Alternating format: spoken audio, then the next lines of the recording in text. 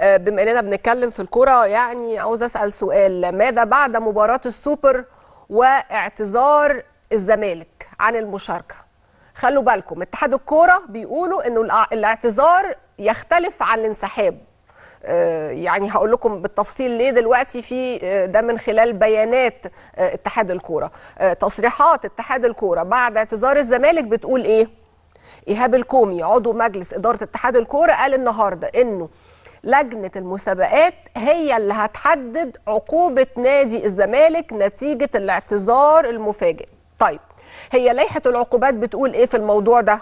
بتقول إنه الفريق المعتذر عن المباراة يعاقب بالحرمان لمدة عام من المشاركة في البطولة وتوقيع غرامة 500 ألف جنيه.